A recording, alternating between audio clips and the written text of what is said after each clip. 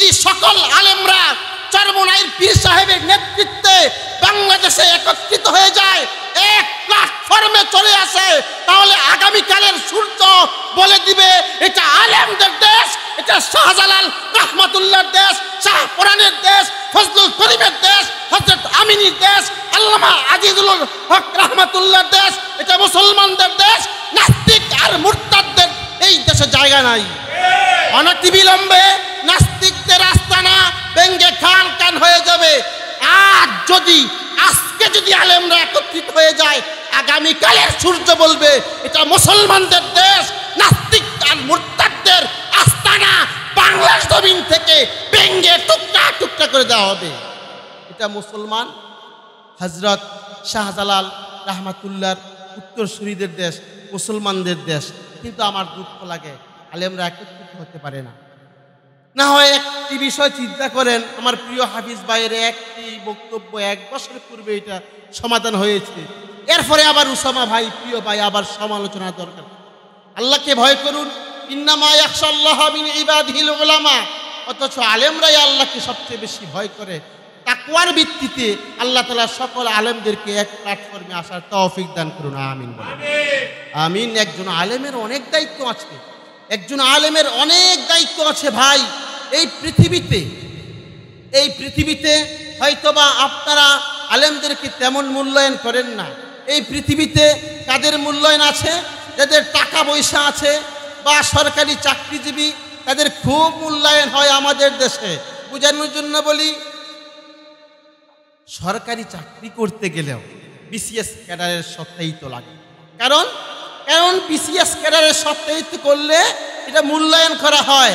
বলে, যদি সত্যায়িত না থাকে, না না, আবার নিয়ে যাও, সত্যায়িত করে নিয়ে আসো। ভাই, এই দুনিয়াতে সাধারণ ছোট্ট একটি বাংলাদেশ, ছোট্ট একটি চাকরি করবেন, এখানে বিসিএস ক্যাডারকে কি পরিমাণ মূল্যায়ন করা হয়? চিন্তা করেছেন বিষয়টি? ঠিক তেমনইভাবে আল্লাহ কেয়ামতের ময়দানে প্রত্যেকটি হক্কানি আলেমকে বিসিএস ক্যাডার বানিয়ে দেবেন ইনশাআল্লাহ।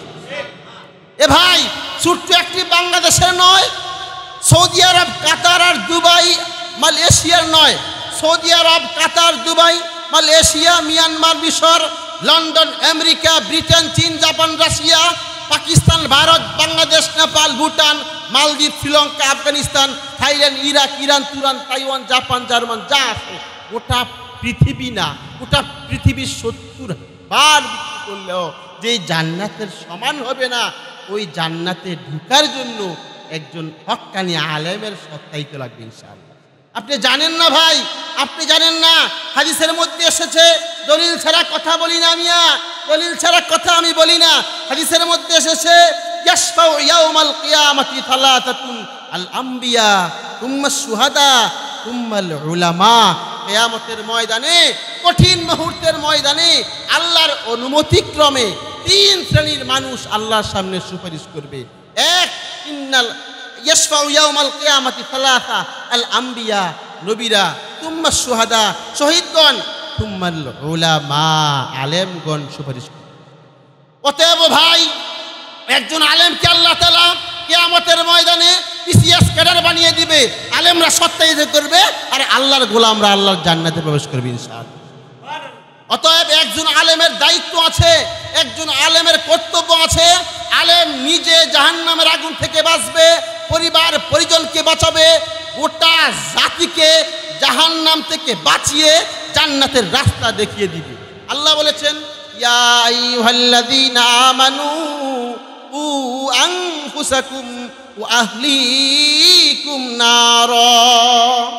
অতএব আলেমরা, আলেমদের দায়িত্ব হলো, তারা নিজেও বাঁচবে, পরিবার পরিজনদেরকে বাঁচাবে এবং গোটা জাতিকে বাঁচাবে।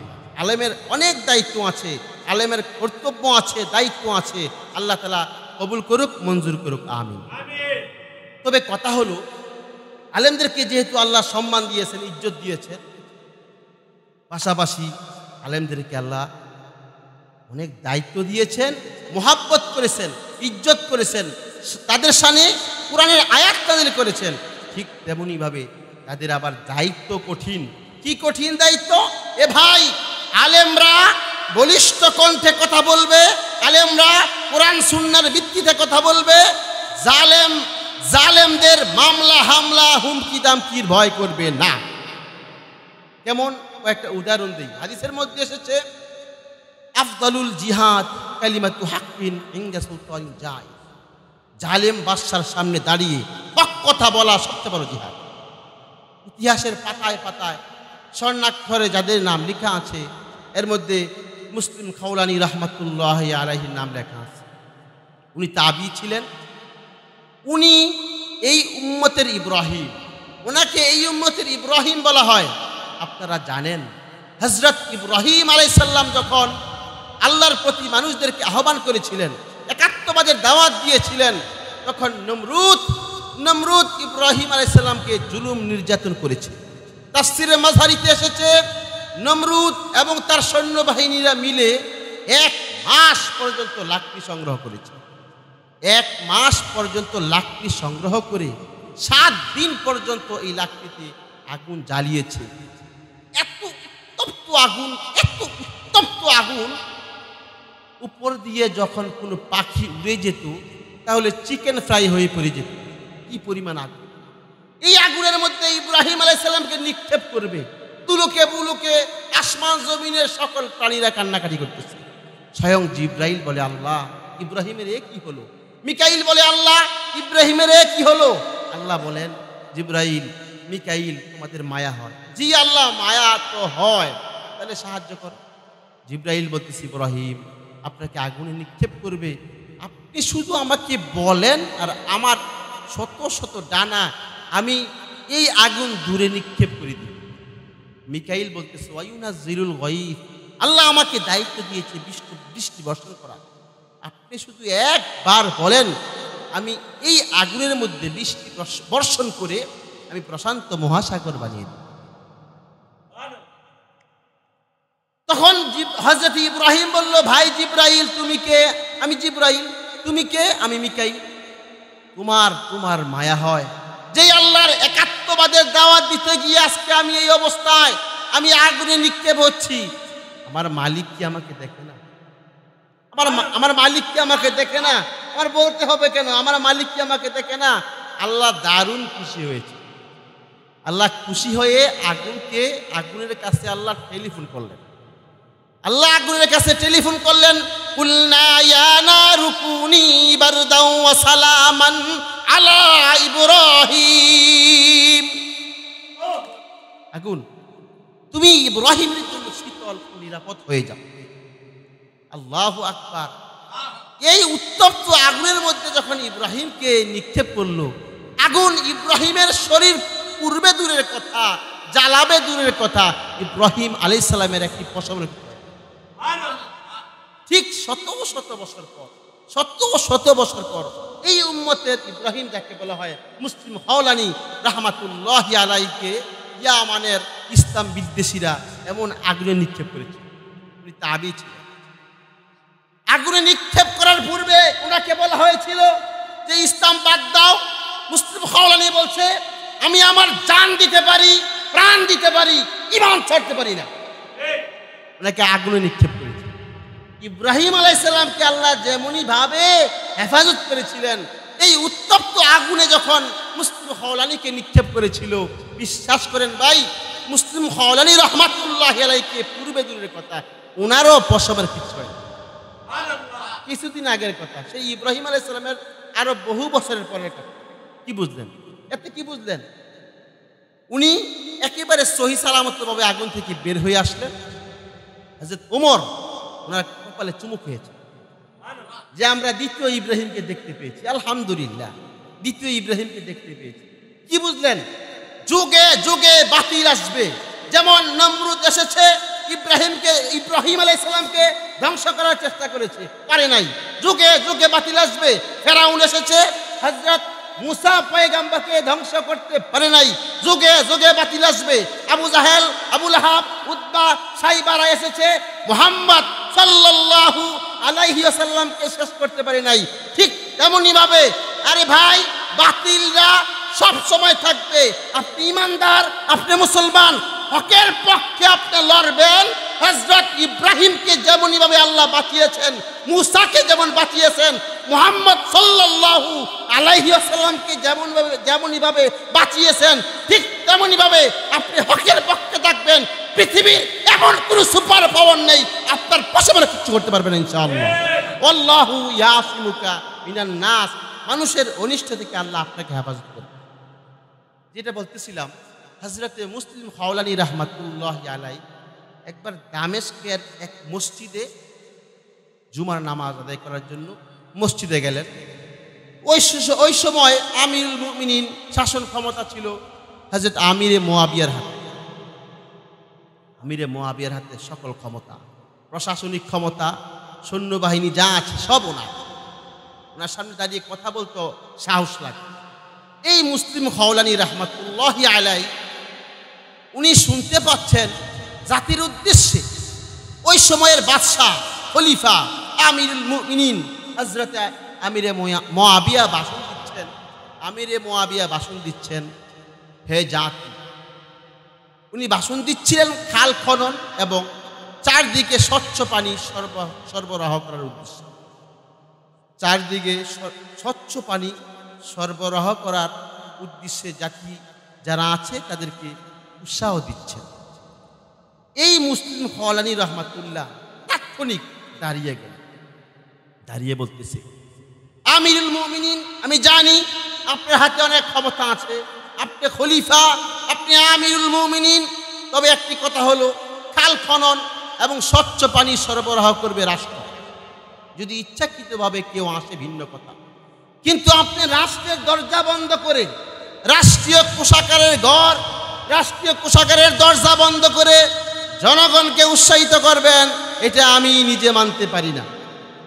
আপনি পাঁচ বছর, দশ বছর, বিশ বছরের ক্ষমতা পেয়ে রাষ্ট্রের টাকা চুরি করে বিদেশ পাচার করবেন আমাদের ময়দানে হিসাবটা দিয়ে এক ইঞ্চি অগ্রসর হতে পারবেন না।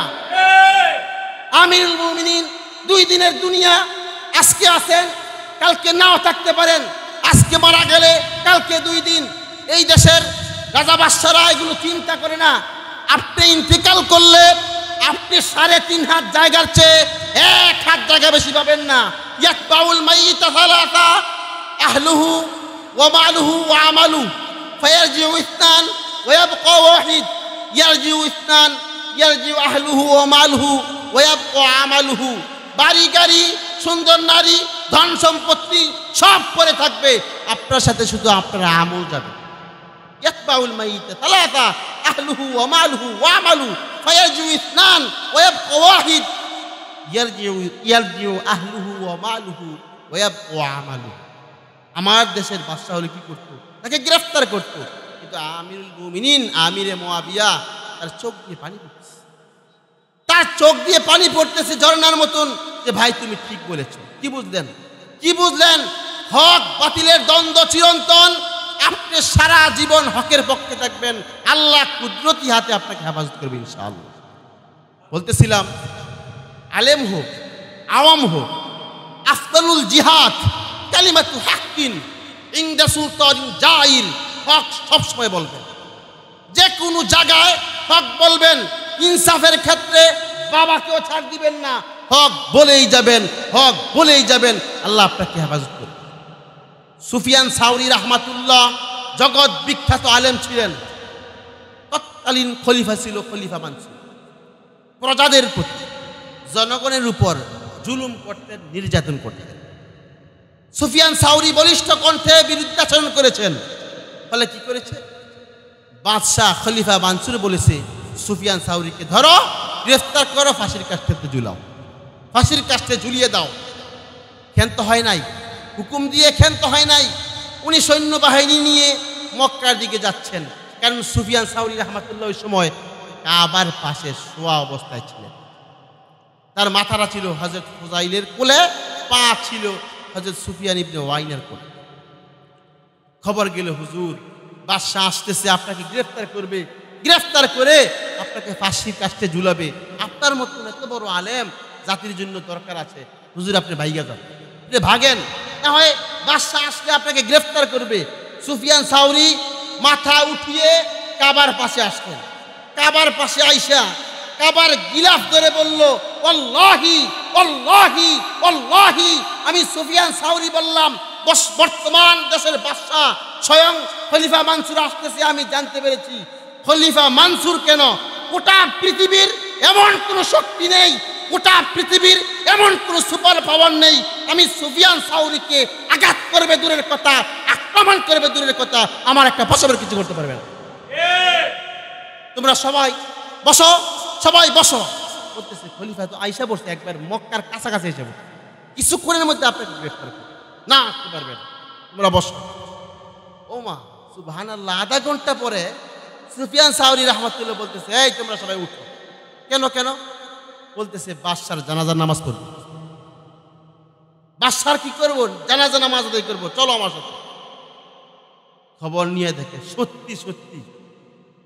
যেই সময় সুফিয়ান সাউরি বলছে আল্লাহি আল্লাহর কসম, বাদশাহ আমার কসমের কিছু করতে পারবে না। ঠিক ওই মুহূর্তে খলিফা মানসুর মক্কা গিয়ে ধাক্কা খেয়ে অক্কা পেল। মানে এক পর্বতের কাছে গিয়ে পড়ে মারা গেছে। সুফিয়ান সাউরি উইঠা বাদশারা জানাজার নামাজ আদায় করেছে। কি বুঝলেন? এই দেশের যত আলেম আছে হক্কানি আলেমদের সম্পর্ক রাজা বাদশার সাথে থাকে না। হক্কানি আলেমদের সম্পর্ক মেম্বার চেয়ারম্যান এমপি মন্ত্রীর সাথে থাকে না। এই দেশের হক্কানি আলেমদের গোটা পৃথিবীর সকল হক্কানি আলেমদের সম্পর্ক আরও সে আজমের মালিকের সাথে থাকে।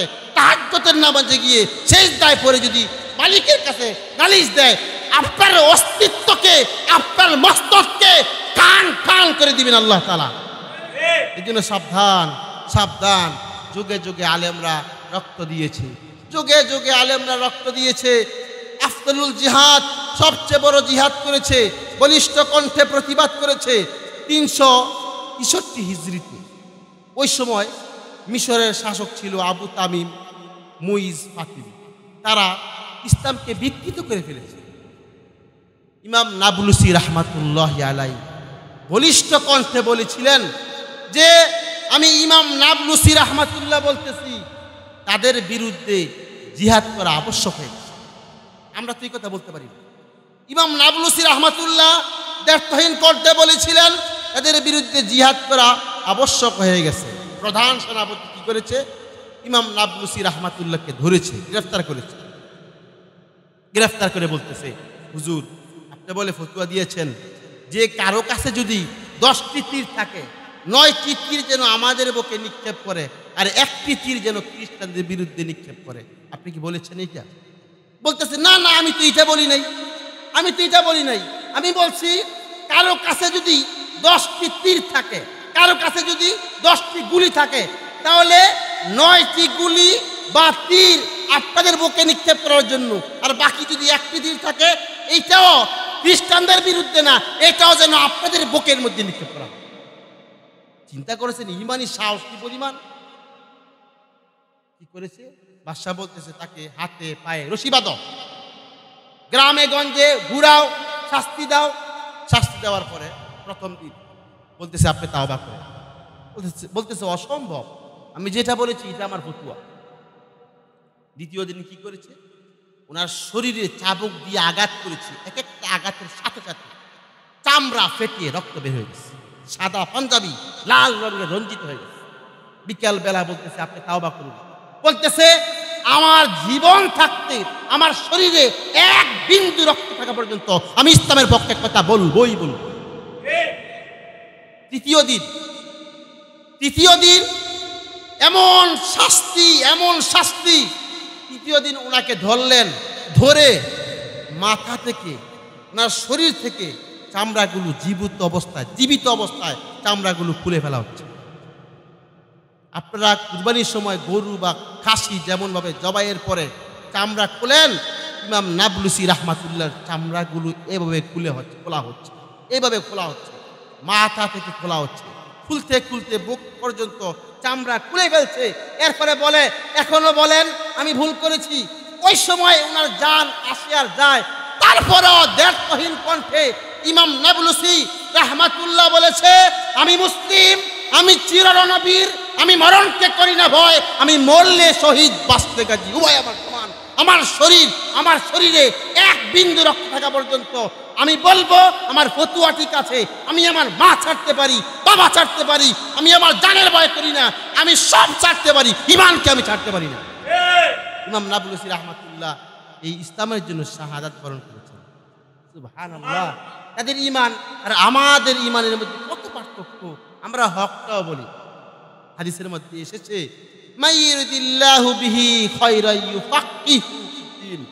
আল্লাহ যার কল্যাণ চান আল্লাহ যার মঙ্গল চান, তাকে মেম্বার, চেয়ারম্যান বানান না, এমপি, মন্ত্রী বানান না, যদি বানান ভিন্ন কথা, তাকে ধনী বানান না, তাকে আর্থিকভাবে সচ্ছল বানিয়ে দেন না। হাদিসের বাসায় বোঝা যায়, আল্লাহ যার মঙ্গল চান যার কল্যাণ চান, তাকে দিনের জ্ঞান দান তাকে আল্লাহ আলেম বানিয়ে দেন, হকানি মুফতি, আলেম বানিয়ে দেন, মুহাদ্দিস মুফাসির বানিয়ে দেন, যার কল্যাণ চান। তারপরে এই ইল আসার পরে দেখবেন একজন চেয়ারম্যানকে মানুষ ভয়ে সম্মান করে আর একজন আলেমকে অন্তরের অন্তঃস্থল থেকে মহব্বত করে।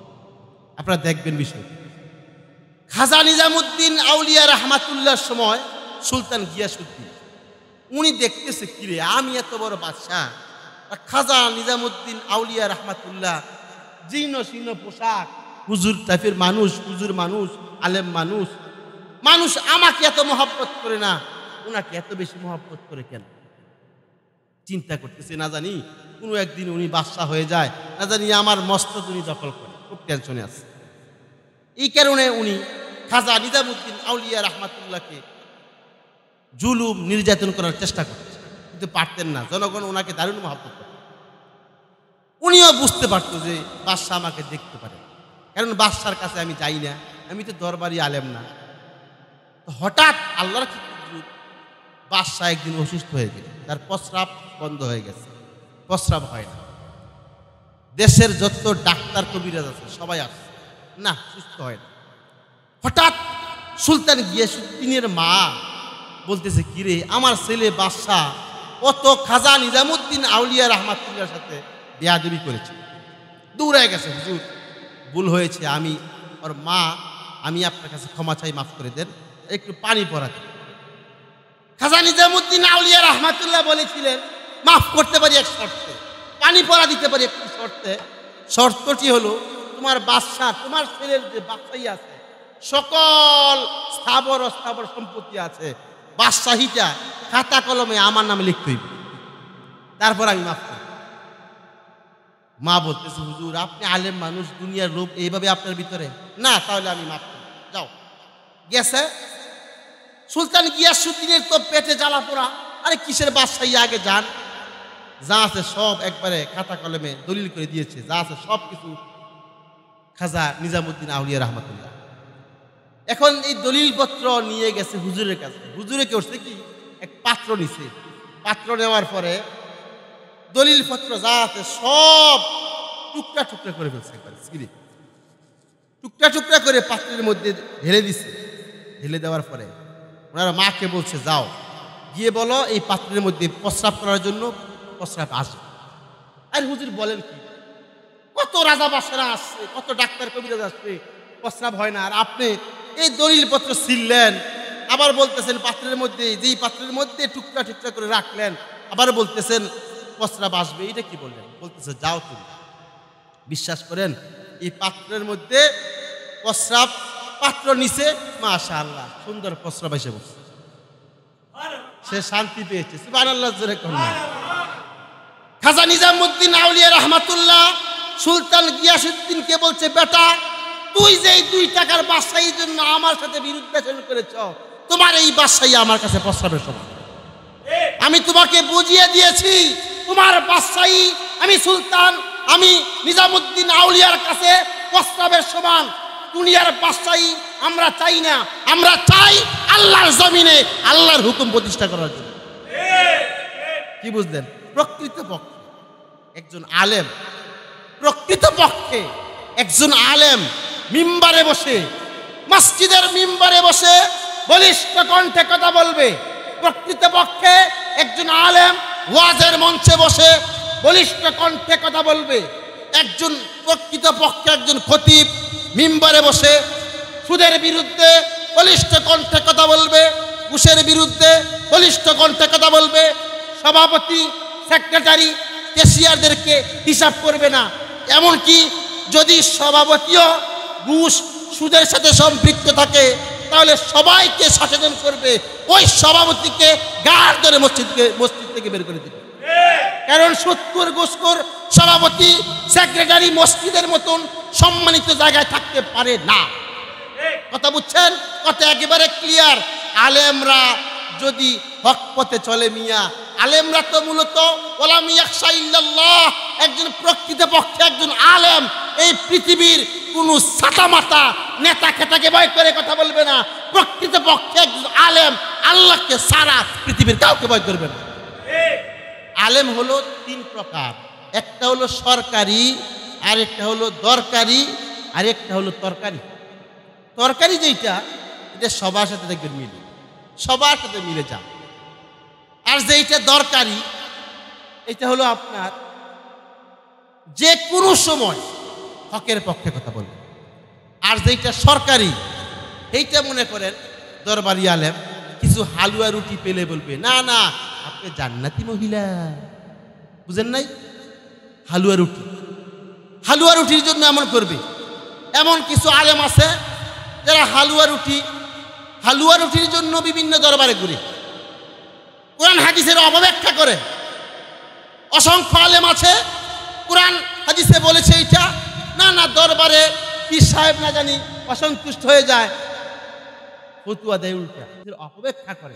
আমি এদের হেদায়ত কামনা করি। এরপরে মাশা আল্লাহ আল্লাহ তালা আবার অনেককে হেদায়ত দানও যেমন, এক ভণ্ড পীরের মুরিদ ছিল মাশা আল্লাহ আলাউদ্দিন জিহাদি ভাই। এত বেদাত আর বেদাত, আর উনি এতদিন বেদাদের পক্ষে সাপোর্ট দিয়েছেন, বেদাদের পক্ষে কথা বলেছেন। এই দুই চার দিন আগে আলহামদুলিল্লাহ উনি বলিষ্ঠ কণ্ঠে বলেছে, বেদাতিদের সাথে আমি নাই, আমি বেদাতিদেরকে বেদাতিদেরকে বর্জন করলাম। আমি এই বয়ানটি শুনে এত খুশি হয়েছি, আলহামদুলিল্লাহ। আমি এত সন্তুষ্ট ওনার প্রতি। এত খুশি হয়েছি। বিশ্বাস করেন ওনাকে যদি আমি সামনে পাই ওনাকে ধরে বলব, ভাই, আপনার কপালে চুমো খাই। আপনার মতন আলেম টাকার কারণে বিক্রি হয়েছেন। আরে, আপনার মতন আলেম এই জাতির দরকার আছে। আপনাদের মতন আলেমরা যদি দরবারের পক্ষে কথা বলেন, কোরআন হাদিসের অবব্যাখ্যা করেন, তাহলে তো মানুষ বুঝবে না। ভাই এ আমাদের আগ পর্যন্ত আপনার পিছনে আছি। আপনার কাদের হিসাবে কাজ করতে চাই। যারা যে সমস্ত আলেম হকের পক্ষে কথা বলবে, তাদের জন্য আমরা আগুনে চাপ দিতে পারি, রশিতে জ্বলতে পারি। কারণ তারা কোরআন সুন্দর ভিত্তিতে কথা বলবে। তাদের মত আমাদের মত, তাদের মত আমাদের মত, একই মত। আল্লাহ তাআলা এই ভাইকে এরপরে আবু তোহা আদনান সাহেবও বলছে, হক আলেম ও কৌমিরা জাতি আরও বুঝবে কৌমির সন্তানেরা হক কানি ওলামায়ে কেরামরা, দেওবন্দের আলেমরা কাউকে ভয় না করে বলিষ্ঠ কণ্ঠে হক কথাগুলো বলে। তারা জেল জুলুম মামলা হামলাকে ভয় করে না। আস্তে আস্তে বুঝবে জাতির যদি হক্কানি আলেম থাকে তাহলে কৌমিরা দেওবন্দের ওলামায়ে কেরামরা হক আলেম। আল্লাহ তালা কবুল করুক মঞ্জুর করুক এই ভাইকে আমাদের উপর সত্যের উপর আমাদের সাথে কাজ করার তৌফিক দান করুন আমি হালুয়া রুটির জন্য যারা কাজ করে যে সমস্ত হালুয়া রুটি এগুলো আমি কি আমি এই সমস্ত হালুয়া রুটিকে আমি প্রস্রাবের চাইতে না পাক মনে দুই টাকার জন্য এত মহান কোরআন, এত মহান হাদিসকে আপনি অপব্যাখ্যা করেন ভাই। এগুলো তো যে কয় টাকা পান, দুনিয়াতে বাড়ি গাড়ি করলেন, এগুলো তো না পাক, একেবারে না পাক। আশরাফ আলী থানবি রহমাতুল্লাহ উদাহরণ দিয়েছিলেন চমৎকারভাবে। মহিলা ক্ষীর পাকাইছে, ক্ষীর। ক্ষীর পাকানোর পরে বেশি হয়েছে। তো বলতেছে, এটা কাজ করো। ওই আমাদের ইমাম সাহেব দরবারি আলেম তো, তাকে দিয়ে আস। পিচ্ছি কি করছে আপনার? প্লেটে পাত্রে ক্ষীর রেখে হুজুরকে দিয়ে আসছে। নেন হুজুর, আমার মা আপনার জন্য হাদিয়া পাঠাচ্ছে। হুজুর খাবে এই মুহূর্তে বলতেছে, হুজুর, পাত্রের এই পাশ থেকে খাবেন, ওই পাশ থেকে খাবেন না। কেন কেন? বলতেছে, এই পাত্রের এই পাশে কুকুরে মুখ দিয়েছে, কুকুর খেয়েছে তো, এই জন্য এই এই পাশে খাবেন না, ওই পাশ থেকে হুজুর রাগ কইরা এই পাত্র আড়াল দিয়ে ভেঙে বসছে বাচ্চা কান্নাকাটি করতেছে, কাঁদো কেন? বলতেছে, বাড়িতে গেলে মায় তো মারবে। কারণ আপনি আমার পাত্র ভেঙে ফেলছেন। আরে বেটা, তুই কুকুরের খাবার আমাকে দিলি। বলতেছে, হুজুর কাঁদি কেন জানেন? মায় মারবে। এই পাত্রের মধ্যে আমার দাদি প্রস্রাব করছে। এই জন্য আপনাকে দিয়েছি, আপনি ভেঙ্গেছেন আমার মা তো মারবে। আমার দাদি প্রস্রাব করবে কিসের মধ্যে? বলতেছে, আরে বেটা তোর সাহস তো কম না? বলতেছে, আমার সাহস বলেন আপনি। আপনি যেই দরবারি আলেম, যা খান, আর এই কুকুরের মধ্যে, কুকুরের যে খাবার বাড়তি খাবার, আর আপনার দরবারি আলেম হওয়ার পরে আপনাকে যেই হালুয়া রুটি দেয়, ওই খাবার আর কুকুরের খাবারের মধ্যে পার্থক্য নাই। আপনার ওই খাবার আর কুকুরের খাবারের মধ্যে পার্থক্য নাই তো? আরে ভাই, আপনি তো আলেম, শ্রেষ্ঠ জাতি। আপনি বলিষ্ঠ কণ্ঠে কথা বলবেন। কিসের হালুয়া রুটির জন্য দরবারে যান? আল্লাহ তালা আমাদেরকে হেদায়ত করুক আমিন বলেন।